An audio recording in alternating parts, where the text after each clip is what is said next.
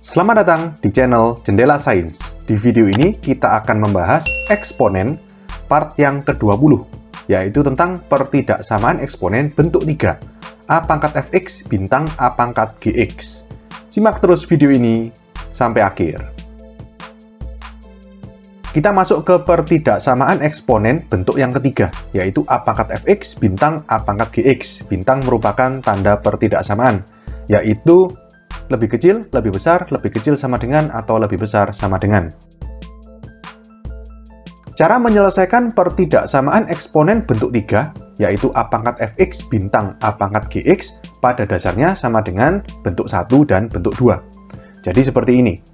Misalkan ada pertidaksamaan A pangkat fx lebih kecil atau lebih kecil sama dengan A pangkat gx.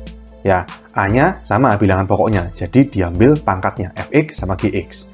Kalau misalkan A-nya ini lebih besar dari satu, maka kan tadi diambil pangkatnya, tandanya tetap. Jadi lebih kecil, tetap lebih kecil, lebih kecil sama dengan, tetap lebih kecil sama dengan. Jadi di sini penyelesaiannya fx lebih kecil atau lebih kecil sama dengan gx. Jadi tanda tetap. Kemudian kalau misalkan A-nya ini antara 0 sampai 1, maka fx diambil, gx diambil, tapi tandanya dibalik. Kalau lebih kecil jadi lebih besar, kalau lebih kecil sama dengan menjadi lebih besar sama dengan. Sehingga di sini penyelesaiannya fx lebih besar atau lebih besar sama dengan gx. Tandanya dibalik. Demikian juga kalau misalkan a pangkat fx lebih besar atau lebih besar sama dengan a pangkat gx. Kalau misalkan a-nya lebih besar dari 1, maka tandanya tetap fx lebih besar atau lebih besar sama dengan gx. Kalau a-nya antara 0 sampai 1, tandanya dibalik, fx lebih kecil atau lebih kecil sama dengan gx. Oke, untuk alasannya kenapa kok tanda tetap, tanda dibalik, ini sudah pernah saya terangkan di bentuk satu. Ya, nanti bisa kalian lihat videonya. Nanti linknya saya taruh di sebelah kanan atas sini, bisa kalian klik. Oke, sekarang kita langsung ke contoh soal. Tentukan himpunan penyelesaian dari 3 pangkat x kuadrat min x min 6 lebih besar dari 9 pangkat x min 1. Di sini bilangan pokoknya belum sama. Di sini 3, di sini 9. Kita arahkan ke bilangan prima. Ya logikanya ketiga. 9 itu kan bisa kita jadikan 3 kuadrat gitu ya agar bilangan pokoknya sama. Oke, jadi ruas kiri masih tetap di sini 3 pangkat x kuadrat min x min 6 lebih besar dari 9 kita jadikan 3 pangkat 2 pangkat x min 1 oke Ruas kiri masih tetap 3 pangkat x kuadrat min x min 6 lebih besar dari, nah di sini A pangkat B dipangkatkan C, berarti A pangkat BC, pangkatnya dikali, berarti 3 pangkat 2 kali dalam kurung x min 1, berarti 2x min 2. Oke, di sini bilangan pokoknya sudah sama, jadi sudah membentuk A pangkat fx lebih besar dari A pangkat gx. Jadi di sini pangkatnya bisa kita ambil. Tapi kita lihat dulu di sini A-nya bilangan pokoknya 3, lebih besar dari 1 kan, artinya tanda tetap. Jadi X kuadrat min X min 6 lebih besar dari 2X min 2. Ini pertidaksamaan kuadrat, jadi kita arahkan ruas kanan 0, semua pindah kiri.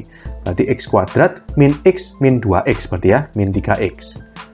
Min 6 plus 2, berarti min 4. Lebih besar dari 0. Kita faktorkan X, X. Kita cari dua bilangan yang kalau dijumlah min 3. Kalau dikali min 4. Berarti min 4 sama plus 1. Lebih besar dari 0. Oke, kita cari harga nolnya. Nilai X yang membuat ruas kiri 0. Berarti X sama dengan 4 atau X sama dengan min 1. Kita buat garis bilangan.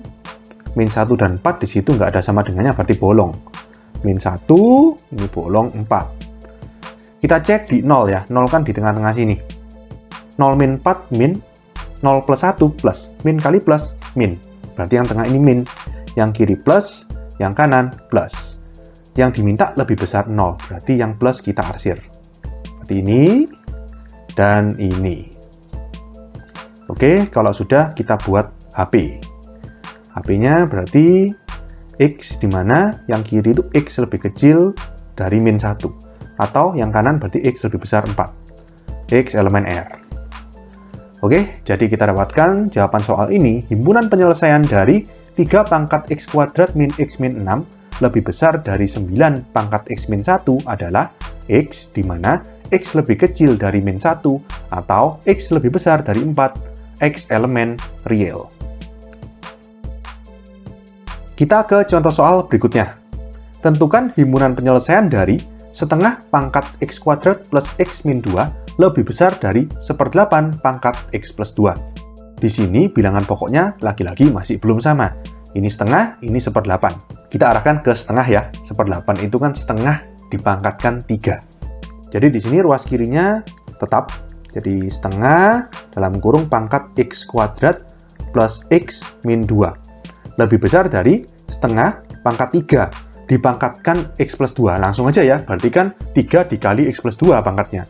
Jadi 3X plus 6. Oke, bilangan pokoknya sudah sama, sama-sama setengah. Jadi bisa kita ambil pangkatnya. Nah, tapi ini bilangan pokoknya kan antara 0 dan 1. Berarti tanda pertidaksamaannya harus dibalik. Jadi X kuadrat plus X min 2 lebih besar dibalik menjadi lebih kecil dari 3X plus 6. Ini pertidaksamaan kuadrat, kita jadikan ruas kanan 0, semuanya kita pindah ke ruas kiri. X kuadrat plus X min 3X, berarti min 2X. Min 2, min 6, min 8, lebih kecil dari 0. Kita faktorkan X, X, kita cari dua bilangan yang dijumlah min 2 dikali min 8. Berapa itu? Min 4 sama plus 2, lebih kecil dari 0. Berarti harga 0 nilai X yang membuat ruas kiri 0, berarti X sama dengan 4 atau X sama dengan min 2. Kita buat garis bilangan. Itu lebih kecil, berarti bolong ya. Min 2, 4. Kita cek di 0. 0 itu kan di tengah sini. 0 min 4, min. 0 plus 2, plus. Min kali plus, min. Berarti yang tengah ini min. Kiri plus, kanan plus. Yang diminta lebih kecil dari 0, berarti yang tengah ini kita arsir. Oke, kita buat HP-nya. HP berarti X di mana itu kan antara min 2 sampai 4 ya. Dan bolong berarti nggak ada sama dengannya. Min 2 lebih kecil dari X, lebih kecil dari 4, koma, X elemen R. Jadi kita dapatkan jawaban soal ini himpunan penyelesaian dari setengah pangkat X kuadrat plus X min 2 lebih besar dari seperdelapan pangkat X plus 2 adalah X di mana min 2 lebih kecil dari X lebih kecil dari 4, X elemen bilangan real. Oke, sekian untuk video kali ini. Untuk melihat playlist lengkap dari bab ini, bisa kalian klik thumbnail yang ada di sebelah kanan atas ini. Jika ada pertanyaan, saran, maupun kritik, bisa kalian tulis di kolom komentar. Semoga bermanfaat dan sampai jumpa di video selanjutnya.